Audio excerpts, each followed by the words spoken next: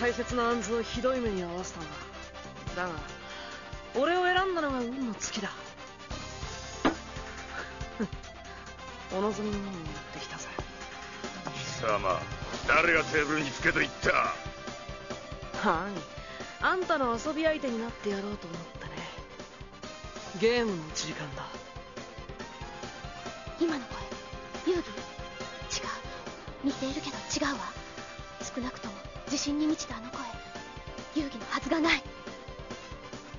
おおゲームね少しばかり興味はあるな。